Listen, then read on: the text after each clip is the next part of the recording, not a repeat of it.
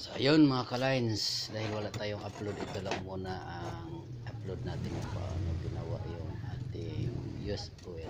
Uh, manood lang kayo, dito lang yung sa entrance ng aking crossover. Ito po ay uh, step by step ng paggawa ng kalan tapos uh, paggawa ng autofill saka auto stop yung ating version okay enjoy watching